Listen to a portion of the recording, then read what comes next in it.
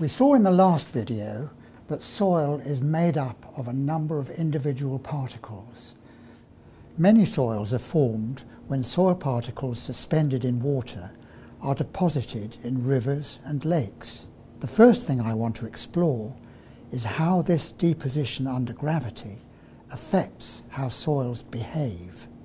I have developed this piece of apparatus that simulates the effects of gravity.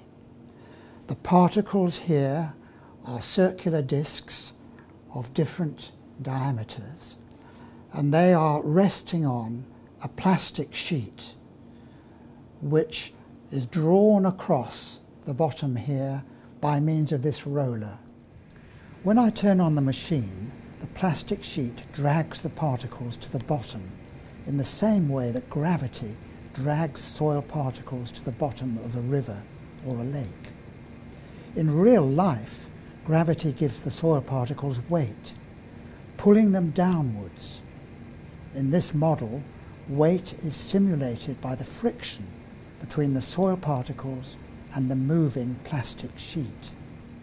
And you can see that they're settling on the bottom and they're now shuffling around and forming themselves into an arrangement of particles you can see these near vertical columns, and they're very important because it means the soil is stronger in the vertical direction than the horizontal direction. And that's because this has been deposited under gravity.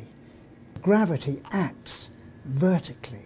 A soil deposit laid down under gravity, is stronger vertically than it is horizontally. Now we're going to look at another very important effect of gravity. We're going to see how it affects the strength of the soil at different depths. So we'll do an experiment with a footing. Here it goes. You can see it penetrating in. And it's reached this depth here. Uh, so the weight of the footing is being carried by the strength of the soil at this depth.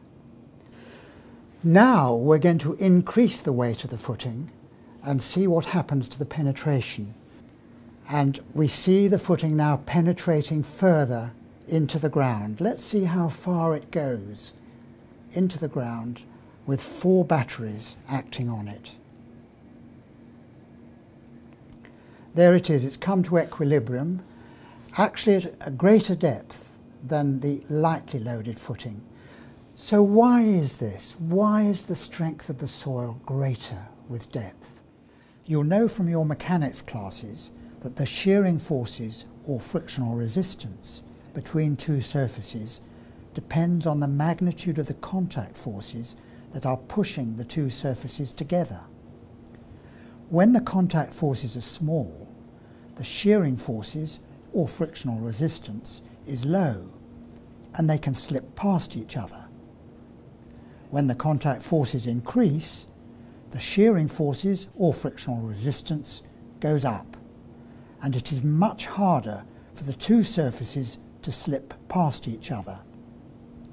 Now, going back to our experiment, gravity acts, the soil has weight, the deeper you go down, the greater the forces between the particles.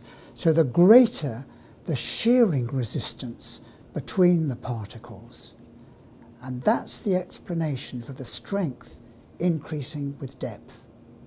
So, summing up, we have seen that the soil is stronger vertically than it is horizontally, and we have seen that the strength of the soil increases with depth. Both these very important effects result from the soil being laid down and acted on by gravity.